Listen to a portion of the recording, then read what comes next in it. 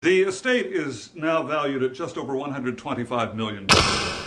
In the basement is Ted, a dangerous individual. Wait, you're leaving us here with a maniac? Only one of you will survive the night. I will return at dawn, and the survivor will inherit the Clearborn fortune.